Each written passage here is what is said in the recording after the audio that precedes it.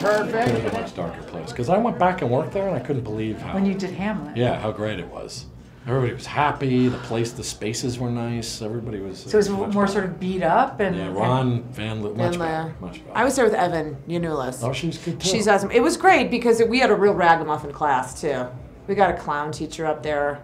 But he's great. No, he's awesome. Chris yeah. Bayes. Yeah, he's yeah, great. he's phenomenal. I wish we'd had him. yeah. Yeah, we would have. The only thing we were really lacking in was Shakespeare. Yeah, We just didn't have enough time. It's not a criticism of the school. just an observation. It's an observation. Meanwhile, back at the ranch, you went Anyway. back to do Shakespeare, but there must I have been a did lot go of back. Shakespeare. I wish I when you could were have seen there. your hand. Yeah, there was, but it was. and It was. Yeah, there was a lot of Shakespeare. wasn't there?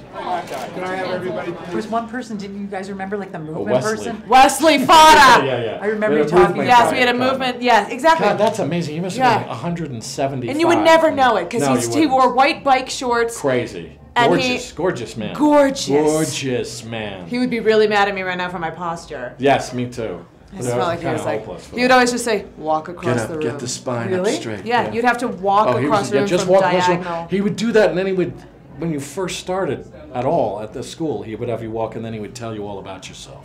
He's Yeah. like, this Yeah, is who you you're holding a lot of on. anxiety. You're a wreck.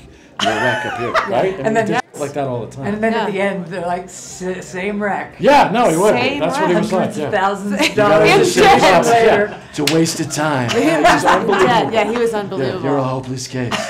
he was unbelievable. He was amazing. I mean, it was kind I of tried to like improvise a movement piece and Oh. it did not go well. Just tried to be like, I oh, uh-huh. would think you would have been really great at that, actually. no, but we were supposed to rehearse it and I thought I could do it on the fly and he could tell.